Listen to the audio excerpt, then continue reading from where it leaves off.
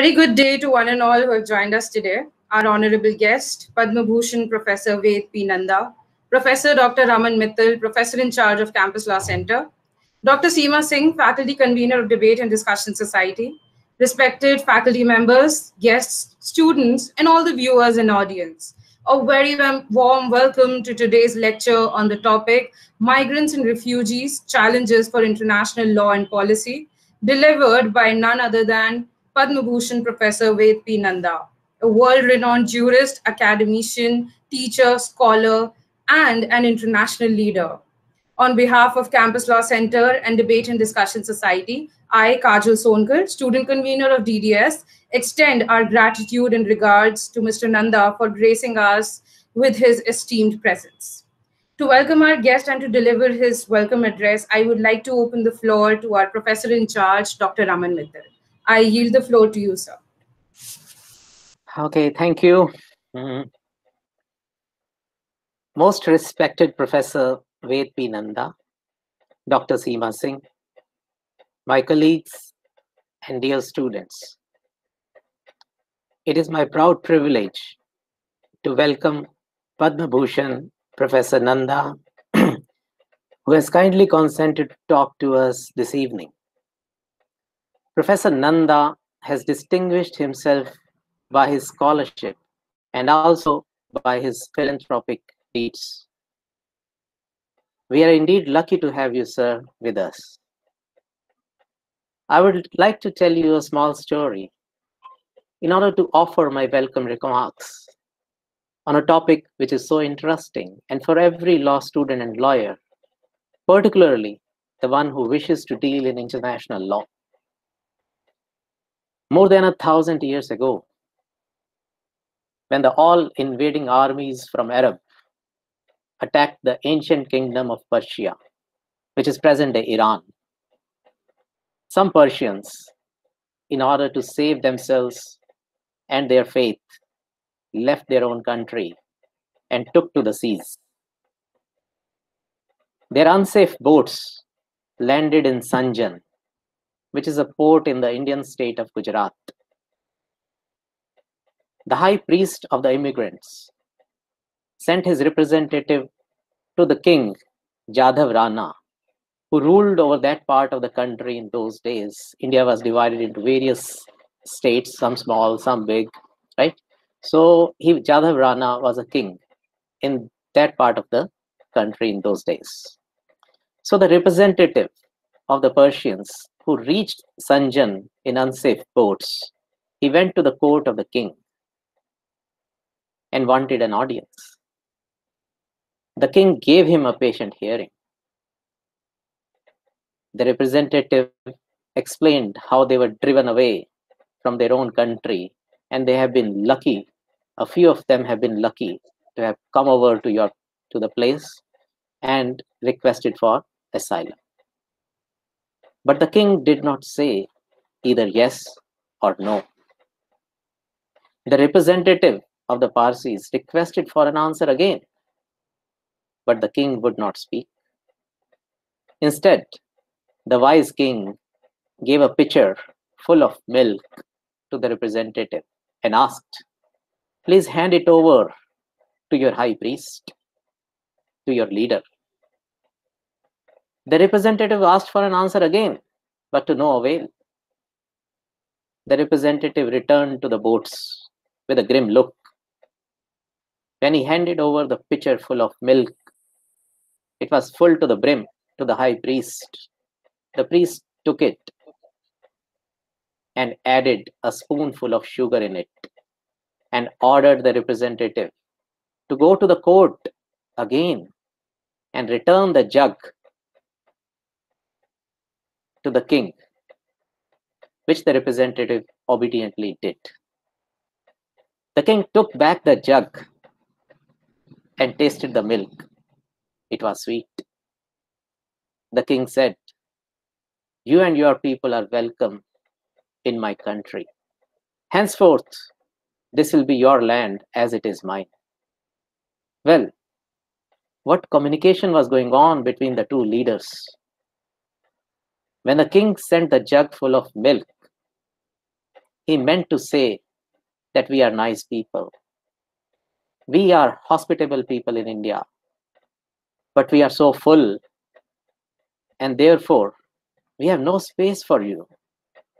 So it was a kind of regret by the king. But the high priest of the Persians, of the Parsis, by mixing a spoonful of sugar in it, said symbolically that we don't need any space really. हमें जगह चाहिए ही नहीं. If you permit, we will mix with you, with you people, and with our hard work and loyalty, we will only improve the quality of life in your country. Well, that is exactly what the Parsis have done. They are they're the smallest minority in India. Even then, they have enriched the Indian economy. they even fought in the independence movement along with Mahatma Gandhi against the British rule. The major industrialists like Tata's, Godrej, Naoroji's, they are amongst the most well-known industrialists. They are all Parsis. India can never repay the contribution of Dr. Homi Jahangir Bhabha. We all know that. And look at the contribution of Jamshedji Nasirwanji Tata. Pandit Nehru used to call him one-man planning commission of India. Whatever reforms J.N. Tata introduced in his companies, in his factories, the first Prime Minister of India, Nehru, used to make them into labor laws. In keeping with their promise made to King Jadhav Rana a thousand years back at the time of being provided shelter, the Parsis have endeavored to sweeten the country by their good deeds. So, my dear friends, modern international law has prescribed duties for countries with respect to refugees and immigrants, and also rights for the refugees and immigrants. But I feel that it goes both ways, as we have seen in the story of Parsis. With these remarks, I welcome Professor Ved Nanda again. Thank you so much, sir, for agreeing to address us. Thank you very much. Over to you. Thank you, uh, Raman sir, for that captivating story. It is my privilege and honor to have been given this opportunity for introducing Professor Nanda. It would take me an entire keynote to justify the might and legend of Professor Ved Nanda, but I treat this path with very, very carefully without not taking much of the time. Professor Nanda, John Evans Distinguished University Professor and Thompson G. Marsh Professor of Law at University of Denver, Honorary President of World Jurist Association, President of World Association of Law Professors, Director of American Society of Comparative Law. Professor Nanda is one of the most decorated jurists of our times, who has been duly recognized by governments and organizations across the world. To name a few, he is the recipient of Padma Bhushan, Louis B. Sohn Award for Public International Law from American Bar Association, Gandhi King Ikeda Award for Community Peace Building, World Legal Scholar Award by the World Jurist Association, United Nations Association Human Rights Award, Hiroshima Peace Award, and the list goes on and it's never ending. Ladies and gentlemen, brace yourselves for a riveting lecture by the pinnacle of international law jurisprudence, the legend himself, Professor Ved P. Nanda. I yield the floor to you, sir. Yeah, thank you very much for this very generous introduction.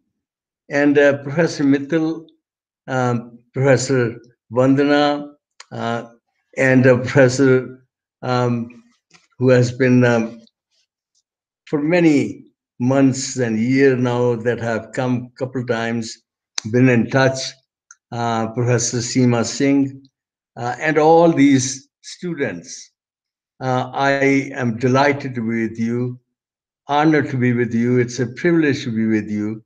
Uh, just like you, I sat in those chairs and those seats at the University of Denver, University of Denver, Delhi University, and a faculty of law. And uh, those were wonderful years that I spent there. So I envy you that you are there on the campus, in the campus center, and I wish you the very best. Uh, Professor Mittal, uh, it really was a captivating story. But that story is a story of India. It's a story of very generous and gracious people. It's a story that not simply welcomed Parsis, but long before that, even, it welcomed Christians who had come. It welcomed Jews who had come. And along with that, now you have welcomed even those people who had to leave Tibet and come there. And I have seen McLeod Ganj, and I have been there with him, um, those people. And, um, um, you know, it's absolutely amazing how all these centuries you have welcomed people and welcomed people, embraced them, and you have given a very clear message to people who are different. And that message is that it's not simply tolerating differences, because when you tolerate, you simply are saying, well, you know, I'm superior and I accept, tolerate you. But you know, you have accepted people, you have respected people who are different. And throughout these centuries, India's attitude toward those who have come from abroad, who look different, has been absolutely amazing. And that's where I want to begin this story today about refugees and about migrants. First of all, numbers. Uh, I was going to put it on the screen, but I don't think there is any need. There are almost 280 million people. Think about it 280 million people, almost uh, one fourth uh, of India's population, that at the present time is not living in his or her own country. And along with that, unfortunately, there are 26.3 million refugees.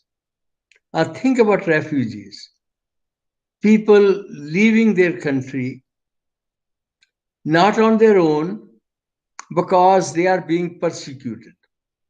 And I'll talk about uh, who is a refugee under the law.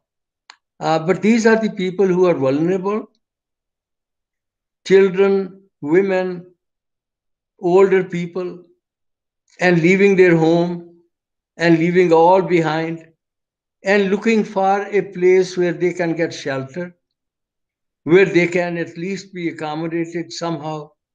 And then doors are closed, barricades are built, no welcome sign, unlike India, which had welcomed all those people.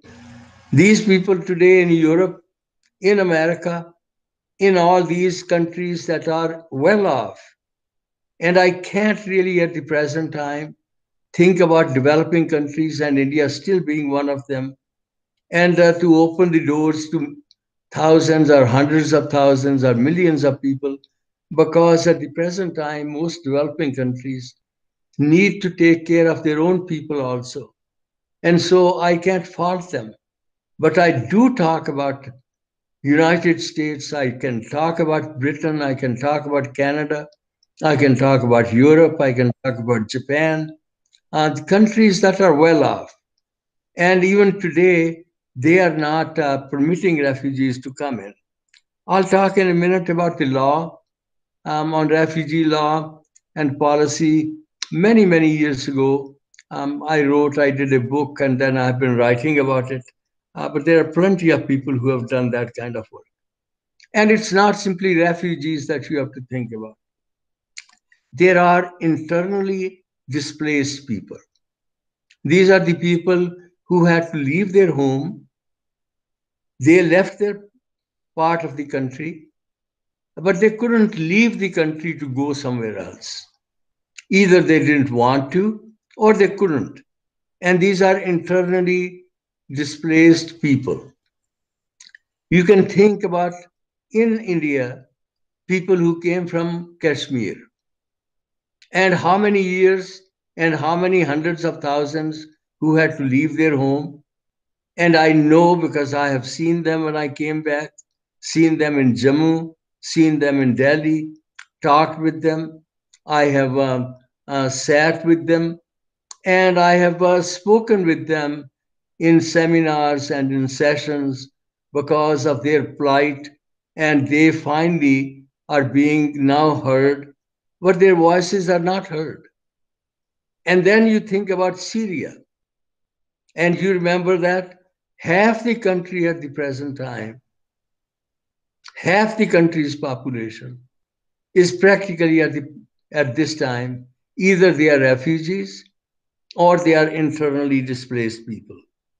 And then think about it there are more than 4 million people around the world who have no state.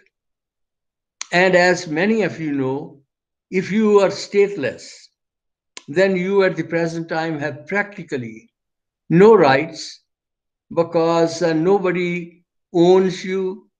You don't own a country in the sense that you are not a national of a country. And today's world, we are still nation state centered.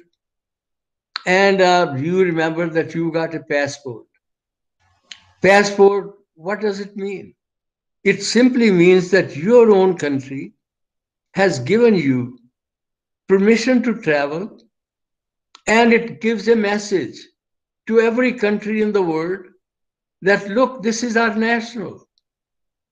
Please support that person at least give the minimum human rights that anybody should have anywhere because he or she is a human body, human person. But he or she is our national. And so nationality becomes very important. And today, the sad part is that with all these lockdowns, and Corona has brought in great deal of tragedy because uh, people can't travel very much and the doors are closed. There are travel restrictions. People are forced from their homes. And there are millions who have got to leave their homes because of many challenges.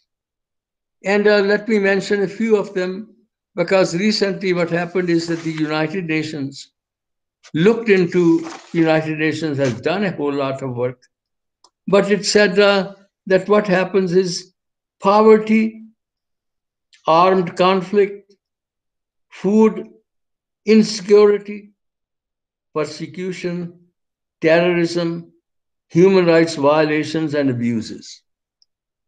In this part of the world where I live now, in Latin America, there are countries that at the present time have gang, gangs, and those are the people who recruit these young kids and ask them to be violent and uh, do all kind of criminal activities, drugs, and uh, problems of uh, looting and killing people.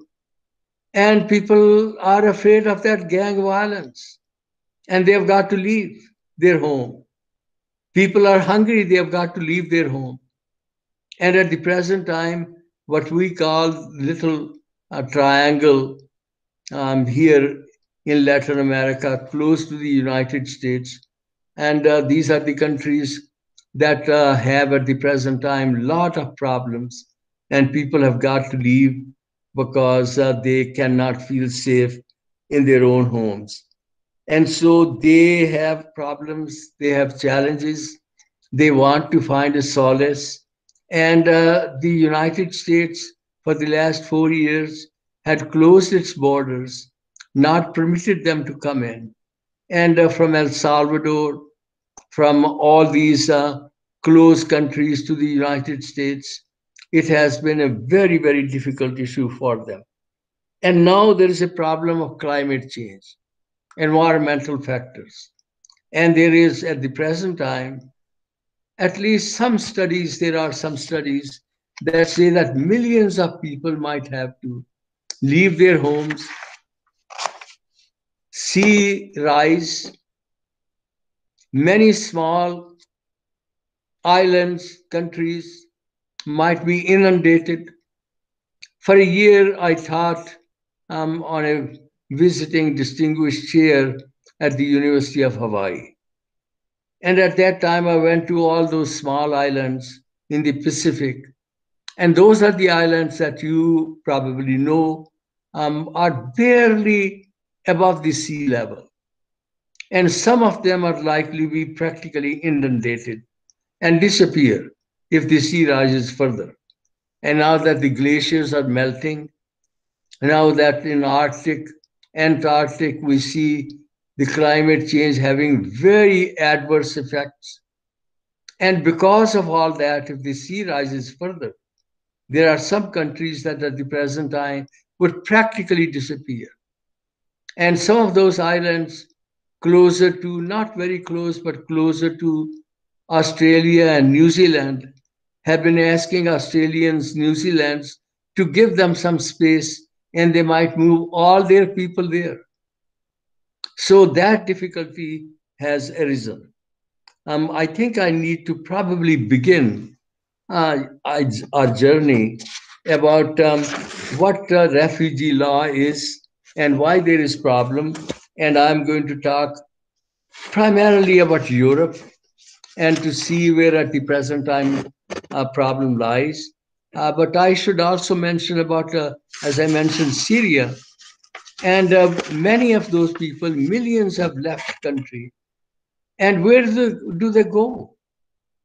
They have gone to Jordan. They have gone to Lebanon. They have gone to Turkey. And all these three countries, Jordan and Lebanon especially, they don't have space. They have got their own economic problems. They cannot take care of them. In Turkey, there are millions of them who want to move toward Europe. And then they take difficult journey in the Mediterranean, rickety kind of boats. And there are smugglers who take advantage of them. And these are the people who take money and then they say, We would transport you to Greece. We would transport you to Italy. From Greece and Italy, Italy, you can go through Serbia, you can go through other countries and go to Germany, go to Britain, countries that can probably accommodate you. Go to Sweden, go to Norway, go to Denmark, go, to the Netherlands. And that is where the problem lies.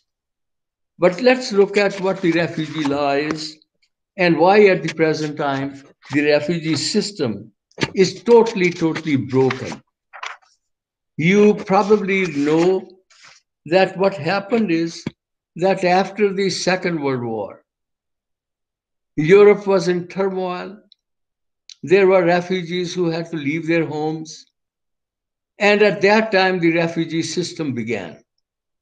And it was in order to take care of those people in Europe who had to leave their homes. Now, move forward and fast forward to today. It's not the same system. It's not Europeans that you're thinking about. And so, under refugee law, what they had simply said, and I want to read to you what the demands are. And demands are that you, as a person, must be persecuted, must feel unsafe. And you have got to show personal, not cumulative, not collective, but personal persecution. That somebody was after you because of your nationality, because of your ethnic setting in which you are. And those are the kind of reasons that you had to leave the country and you can't go back. And you are seeking asylum. And asylum law is a very simple one that you go to a country, the country should open its doors, the country should give you the opportunity to present your claim. And the claim is going to be that you are persecuted, and because of you are persecuted, you cannot go home.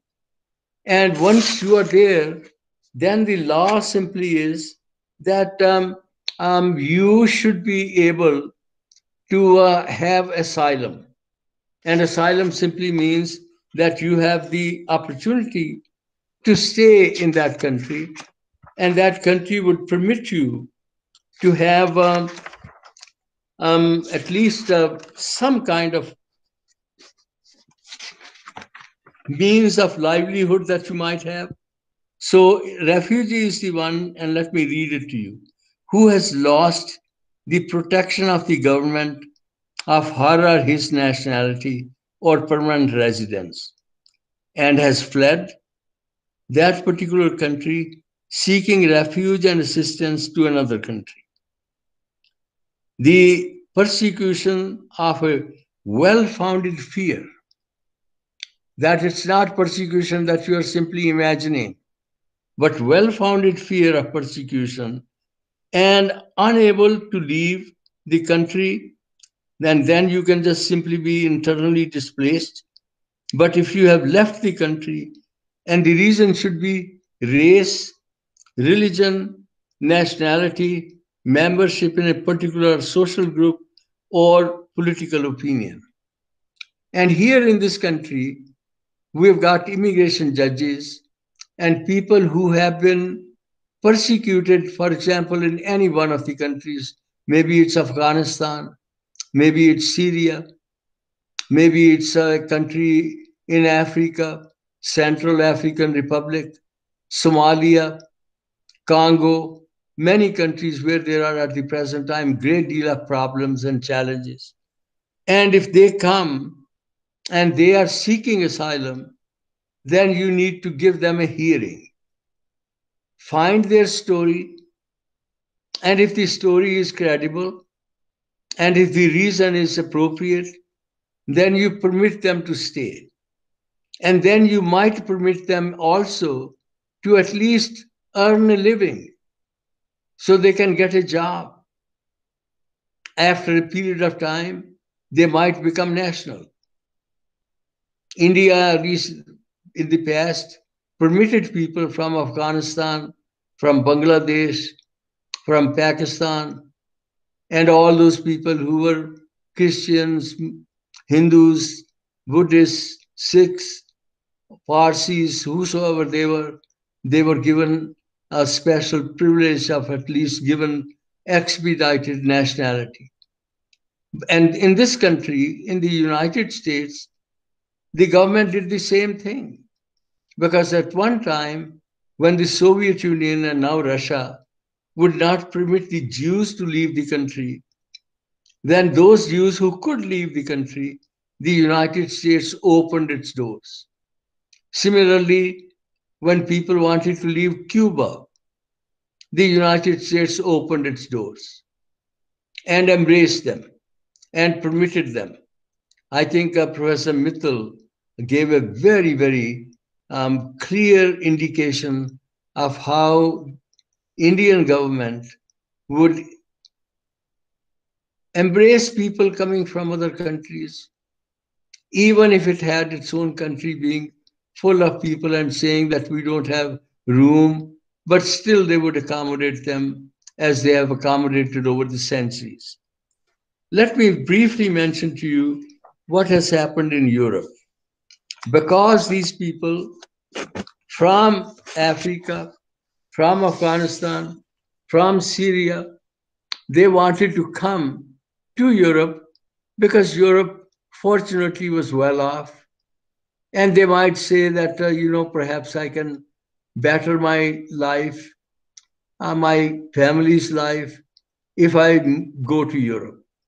And so they would somehow reach because of uh, because of the uh, availability of some resources to go to turkey or go to libya.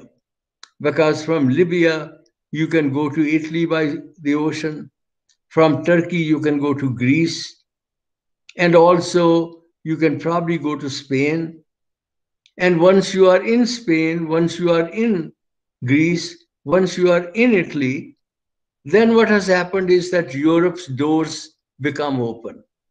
Because once, if you are in one country, then there is a Schengen system under which you can travel throughout Europe or many countries of Europe without having any visas and simply your own identity card and you can travel. And so these people wanted to go to either Greece or Italy or Spain and from there go to countries that are rich like Germany, like Sweden. And Germany and Sweden had opened their do- doors to them. One million people in 2015 they came to Europe. Germany opened its doors, Sweden opened its doors, and many countries also welcomed them. But then, over a period of time, compassion fatigue took over. And uh, Greece wanted to close its doors. Italy did not want to have any more. And those people who wanted to go to Australia, they could not get there because Australia had kept its uh, oceans closed to it, the seas not open to them because they would have their own boats and they would keep people away from coming to Australia and put them in a small island. And from there, uh, their lives being in misery. Uh, and unfortunately, uh, that situation stayed as it is. But let's go back to Libya and let's go back to Turkey. When Italy didn't want them, Greece didn't want them, and Europe had been trying for a long time in order to have a common European system. And they had felt that if refugees came in one country, then all European Union countries should have burden sharing, that they would help that country take care of them. And then they would also accommodate people from that country in different parts of Europe, and each country might have a little quota. Uh, I won't take you through all the details, but that system many, many times tried to reform itself, tried to mend itself. It always has been broken. And even today, after many, many tries, European refugee system is broken and people in Europe are not wanted. And now because of coronavirus, what has happened is that in a country like Hungary, in a country like Poland, in a country like Austria, in a country like Romania. And these are the people who might be put in detention. You may recall or not recall that at one time, when there was Vietnam War, people from Vietnam had to leave in those rickety boats across the ocean, wanting to go to Hong Kong, wanting to get away, and then on the way, robbers preyed on them. People were kidnapped. Children died. Women, older people perished. And then once they went to Hong Kong, Hong Kong put them in kind of tents and camps and barricades around them so they couldn't do anything, they couldn't go anywhere. And uh, that has been the plight of refugees, and that has been plight of the internally displaced people because they are not taken care of. In Syria, that has been the setting for many, many years now. As you remember, 10 years have passed in that war. From Afghanistan, the problems with Taliban, and that has exacerbated the situation of people there. So, what at the present time is happening is that Corona has exacerbated the situation I was looking at uh, these stories. I, um, I don't need to probably take the time to tell you these stories, but they are you you feel heartbroken in listening to those stories. I have had students from Somalia, from Afghanistan, from Syria, and to listen to them, what kind of hardships they had, what kind of work they had left behind. Uh, for example, one student whose dad was a surgeon in Syria came to the United States. What did he do? He couldn't find anything to do. He knew how to drive, so he was an Uber driver, a surgeon, very well known surgeon, and driving a car and finding a way in order to see that his children can have education. And this was my student in the law school and said, My dad is surgeon, now is driving a car, trying to see that I can uh, get educated. I can become a lawyer. I can take care of refugees. So, that at the present time is the system. And in that system, we don't know how it's going to be banded. The system that was set up was simply for those European refugees. And today, this situation is different. And when you think about people who had to leave their home because of violence, not against them, but violence is endemic in the country. Everyone suffers. But in order to get asylum, you have to show that you were the target, that somebody was coming after you. How do you prove it? I have had here several people from Latin America, several people from other countries like Afghanistan and Syria who have been wanting to take asylum here. And in order to show that they have got pers- being persecuted, the immigration judge has to be shown, proven, proved that it has happened. And as an international lawyer, then I am at times expert witness, talking about that country's situation, speaking with the person, finding out from that person what he or she has suffered. Does she have any paper, newspaper to prove that there were going to be people after him? Was he being persecuted because of religion, because of race, because he belonged to the opposition group?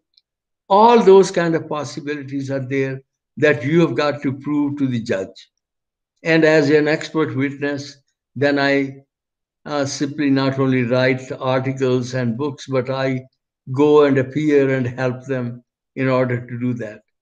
Um, here uh, the, at my in my state, Colorado, uh, there is refugee agency, and uh, I um, served on it uh, for many years in order to provide some kind of assistance to refugees because the state does it, and there is a small group of people that can assist in order to find out how we can assist those people, help those people.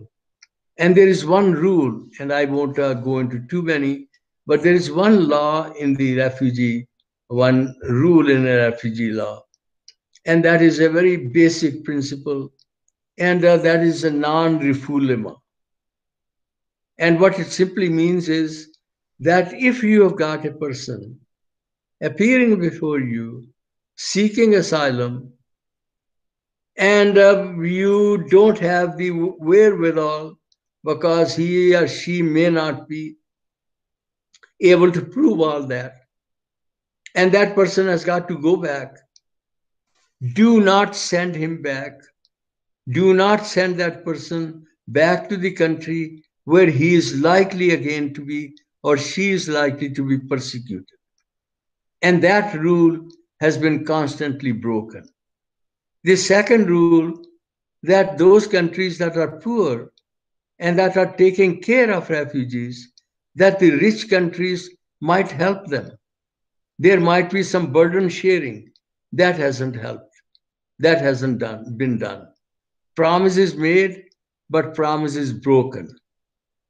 And then there are many international, so many um, treaties and so many declarations um, three, four years ago, not four years ago, five years ago, um, when it was uh, President, uh, um, not uh, Trump, uh, but um, uh, in the earlier setting when Biden was the vice president, he made a great deal of effort in order to see that at the United Nations there is a declaration, and declaration uh, agreed to by many countries around the world on a UN summit at a UN summit. And that declaration was that we'll take care of refugees, we'll do burden sharing, we'll give them at least the opportunity to start a new life. But those declarations, those promises, those treaties, those systems of taking care of refugees are broken. I cannot fault many developing countries because they don't have the opportunity, they don't have the wherewithal to take care of many refugees. But those rich countries that at the present time have the capacity to do so, they have got put all barricades, do not want anyone to come in. And those who come in, they are detained. And those who are come in, they are expelled. And that is at the present time the setting. So where do we go from here? And I can simply speculate that if the system is broken, you have to fix it. And how do you fix it? At this stage, there is no other way but one that these rich countries have to open some of their doors to people who are suffering and who need to come. And these are again pull and push factors. There is a push factor from their own country that they cannot live there peacefully.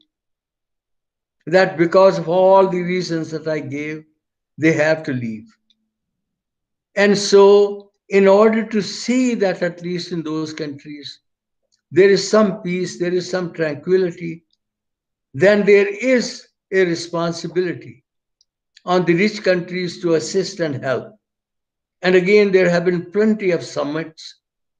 We had uh, one time Millennium Development Goals from 2000 to 2015. And there the point was that nobody should be poor, that we should try to eradicate poverty. And if nothing else, at least uh, 50% of that problem we should be able to solve. And that from 2015 to 2030 now, there are sustainable development goals. And among those goals is that poverty total eradication, nobody should be left behind. And here, the rich countries, industrialized countries, they have taken the responsibility that because where they are, they are to assume more responsibility to help developing countries. What can they do? Not simply money, but they can at least provide appropriate technology. They can uh, provide some kind of assistance in seeing that people in those countries are educated and trained.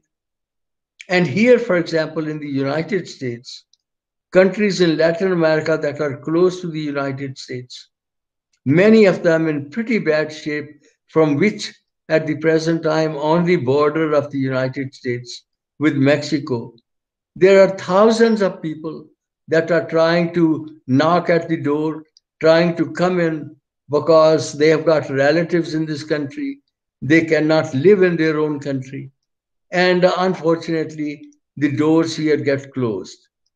With President Biden, uh, he has decided that he's going to permit more people to come in because at one time this country used to have about 100,000, close to 100,000 people permitted each year as refugees.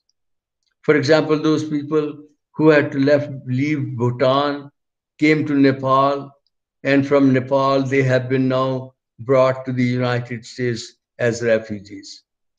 But uh, uh, President Trump had closed the doors. Now Biden is trying to open the doors, but also the Biden administration is trying to see that in these countries closer to the United States, which are in bad shape, that they might be assisted in order to build their capacity to be able to take care of those people so that they don't have to leave their country.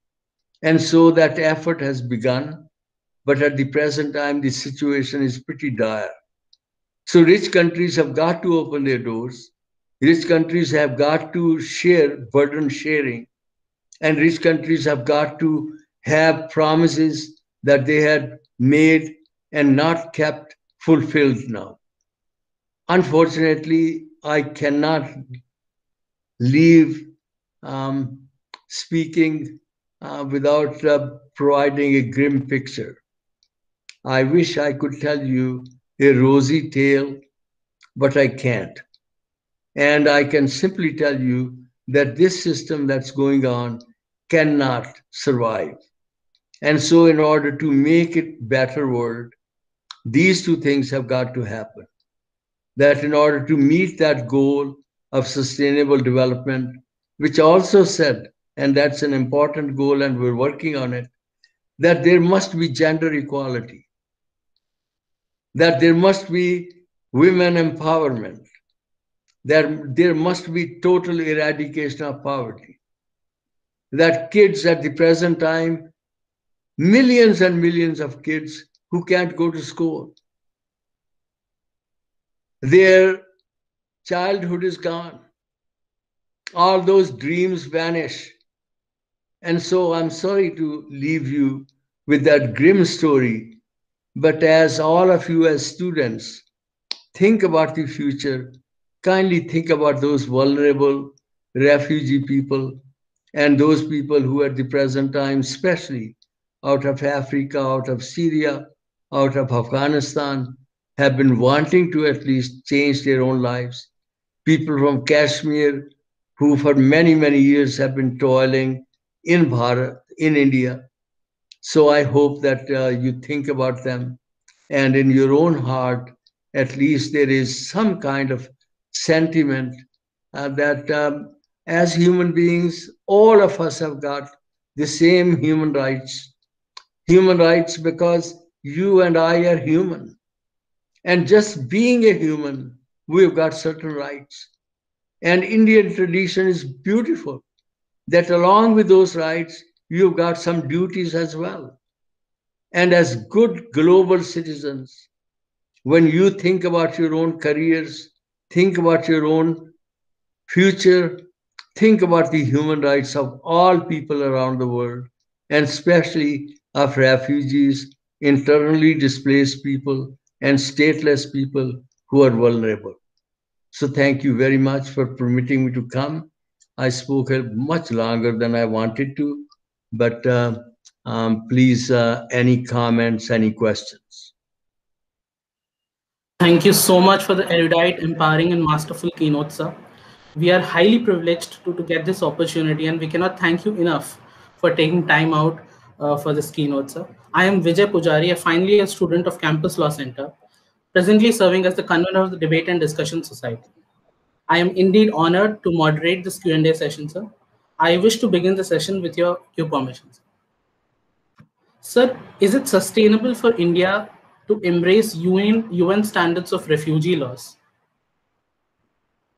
I think the refugee law is there, but at the same time, you probably have heard that I mentioned that developing countries should have a little bit of difficulty because they have difficulty uh, that uh, uh, developing countries ought not to be seen in the same setting as most of the developed countries.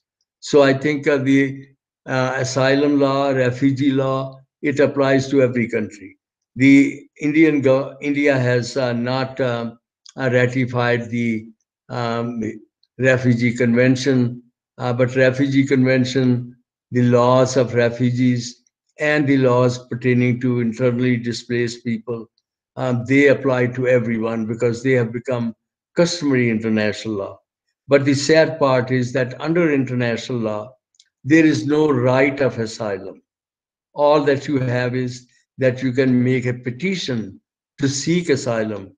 And I think the Indian government has been following that. So, uh, what is your opinion about uh, the Citizenship Amendment Act that we recently passed? Uh, mainly asylum being catered to the religious minorities in neighboring nations. I think uh, the same thing has happened in this country because we opened our doors to my, those who are persecuted in Cuba, those who are persecuted in Russia. And so I think a country under international law has the right to decide who comes into the country and on what terms. And uh, international law leaves it to each country to make that decision. And so Indian government, parliament, on its own, it's, once it adopts the law, unless that law violates international human rights, then it is appropriate. And I think under the citizenship law, What India did was it permitted people who are persecuted from three countries to come in and in order to have expedited citizenship.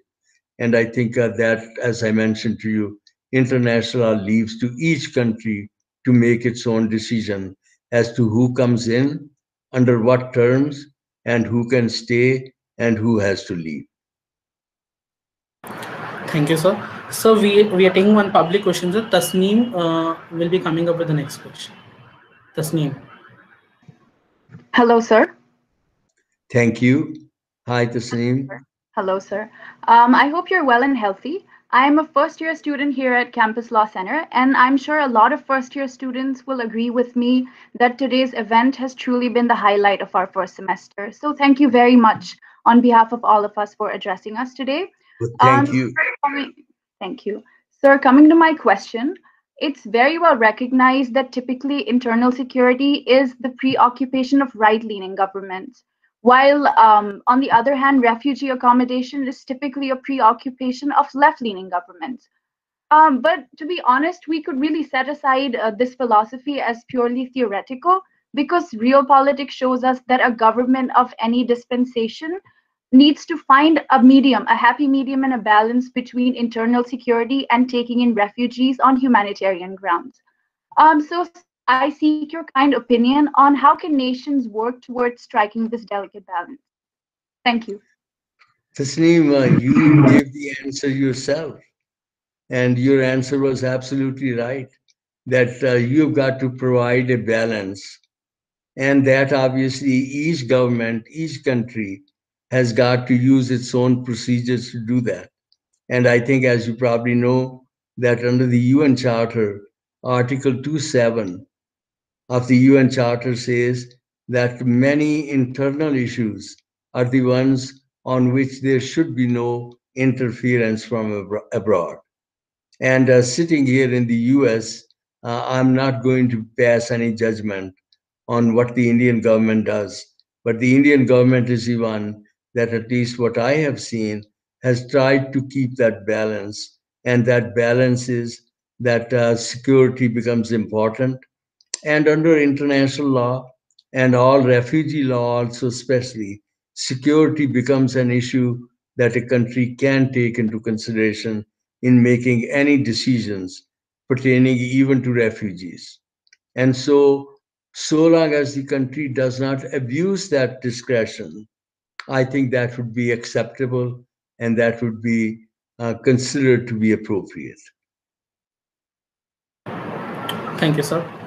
Uh, Ria uh, Tivatia would be coming with the next question. So my question was that some academics argue that migrant workers complement the existing labor force rather than compete, and that the economy benefits where there is higher immigration. What is your take on this, sir? Would uh, will migrants steal our job or not? I, I think uh, it'll again, unfortunately, depend on each country. For example, if you're asking about my country, where I live now, the United States, you're absolutely right. Although there are people here in this country who would not permit many migrants to come in, but we have seen study after study in this country that migrants have added, migrants have paid dues, migrants have done more for the country than um, leave, keeping them out. This is a country of immigrants. At the present time, you know, people from India that came here, they are exceptionally good at the present time as entrepreneurs. If you look at the Silicon Valley, in Silicon Valley, it's Indians that dominate at the present time. They're all migrants. They came in, they pitched in, they created at the present time those dot coms. They are the ones who are at the present time at the pinnacle of their power because of their own efforts and because of who they are. So, immigrants in this country, for example, are the ones who have built this country. So, they don't take away anything. And at the present time, people even from Latin America, Mexico, other places that want to come in, and there are some who would like to close the doors. But uh, these studies, number of them show that even these people who come in and who are not literate, who are not even uh, at the present time adding to the intellectual power of this country, but even they add a whole lot. But again, as I mentioned, it's going to depend on countries. There are countries at the present time that really cannot accommodate. For example, I mentioned to you Lebanon, I mentioned to you Jordan, and Lebanon and Jordan coming from Syria, those people, they have opened their doors, but those migrate, migrants, they are not adding in those countries. They are stealing the jobs. And so the need is for rich countries to help Lebanon, to help Jordan, in order to make sure that these migrants who come in can be accommodated. Wonderful, sir. Thank you, sir. Uh, Akshita is coming with the next question, sir. Good evening, sir. Hi, Sir, Akshita. Good evening, sir. Sir, United Nations High Commissioner for Refugees defined refugees as someone who is in a fear of ill treatment for reasons of race, religion, nationality, political opinion, etc. Sir, in this 21st century, where people are fighting for human rights and freedom of race and religion, should there be any more cases or incidents leading to the making of new refugees? I, I think the point simply is that unfortunately, as you probably know, um, that uh, it's very, very hard in order to change any law which is going to have adverse impact upon countries. And uh, when you talk about a refugee law, in order to bring about any change so that uh, there should be more refugees based on economic considerations or based upon climate issues, I think that ought to be changed. But unfortunately, treaty won't help because countries are not going to be willing to accept a modification amendment of the current refugee law. So what can be done is that you've got to accommodate them. I would not worry about changing the law. I would not worry about saying that you call them refugees because even the UN High Commissioner for Refugee, that you have mentioned the reasons that people can seek asylum, even they, the office of that High Commissioner, is going to be taking care of people who are not legally refugees because they need to be taken care of.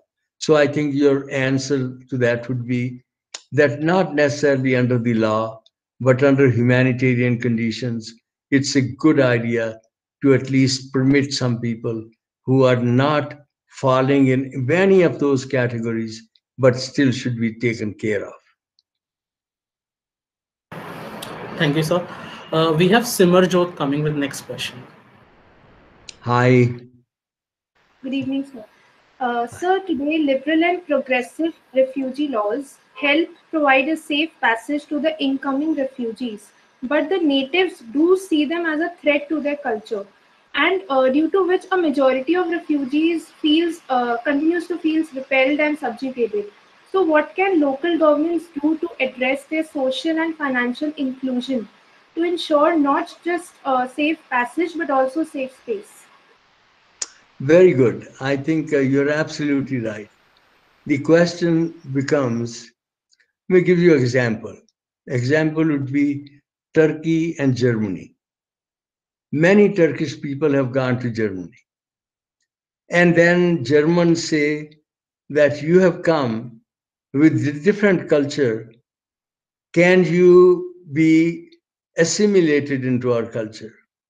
And that is really where the issue comes up do you want to make it a soup or do you want to keep it as a bowl in which you have got all these kind of different vegetables put together and they still live together but they're wonderful because they taste good. So that is the issue that whether you need people to be totally assimilating to your culture or you can at least have some basics that they need to know that they might know the language, that they might know at least the culture that was there when they came in, that their own culture should enrich the culture that was there. In India, you have assimilated all kinds of people over the centuries. They are here in India. They keep their own religion, they keep their own culture, but at the same time enriches the culture of everyone. And in this country, in the United States, there's a great deal of effort in order to see that we don't look at each other at zero sum game, that they should be accommodating each other. And that is where I think the important part that you implicitly kind of mentioned that people have to be taught from the beginning, even before kindergarten. At the very, very beginning, they have got to be taught about human rights. Human rights should be from the very beginning, from parents to teachers, in order to say that different people who look different, culture different, that you don't need to look at them and say that they're not even, they are not to be even tolerated. Live with them, accept them, respect them. Yes, sir. Uh, Shishir with next question, sir. So my question uh, is again based on climate change. So as we talked about the climate change is becoming a real life crisis now, and in fact, World Bank have predicted that there will be close to 150 million migrants from only three regions, that is Latin America, Sub-Saharan Africa, and Southeast Asia by 2050. Especially taking view of South and Southeast Asia, how do you feel the capabilities of the nation in this region to manage this impending crisis along with the acute poverty that is present in this area? Also, sir, what role do you see India playing in next three to four decades uh, for this migrant crisis, considering that that it will itself be dealing with those climate changes acutely? You know, you have raised a very, very important issue. And um, on climate change, um, I've done some work, and uh, you and I can take about an hour to talk about it. But I think the issue that you have raised is a good one. So, what's the answer at the present time? The answer, first of all, is that whatever we can do at this stage, we need to prevent the total collapse. That might be emission standards, that might be at the present time the um, climate change uh, treaty and then protocols and all that is happening.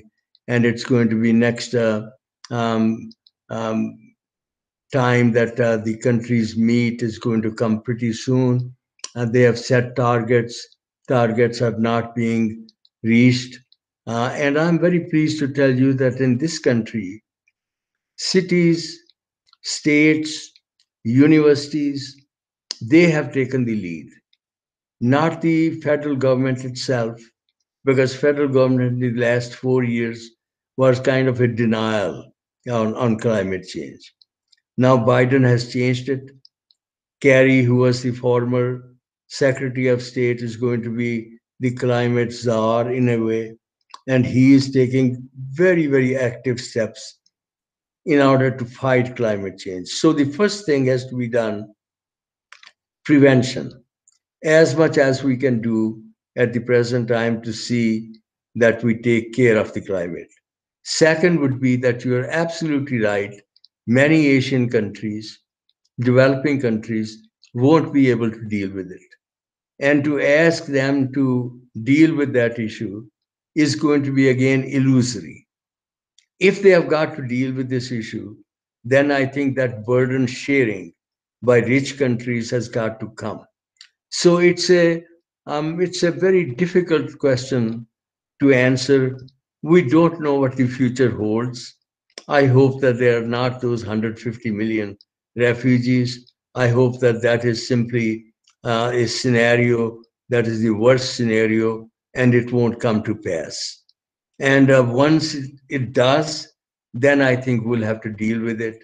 And I think if these refugees in Asian countries have got to be accommodated, I don't know how, without rich countries' help, they can take care of it. So I think at this stage it's all speculative. And let us hope, not simply um, in a very naive kind of way, but in a way that is rational, uh, that uh, we can um, be wise and we can at least take steps at the present time to avoid that kind of catastrophe that you have mentioned. I hope that we can do that. If we don't, then I think the future is bleak, as you implicitly mentioned. Thank you. Uh, thank you so much, sir. Uh, thank you so much for patiently taking each and every question. Now I request uh, Dr. Seema Singh for closing remarks and a word of thanks. Well, thank you.